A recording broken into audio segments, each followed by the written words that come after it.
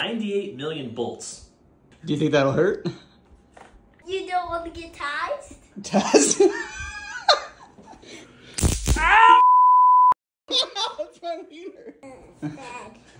So that is why you don't use a taser for home defense because all you do is piss them off.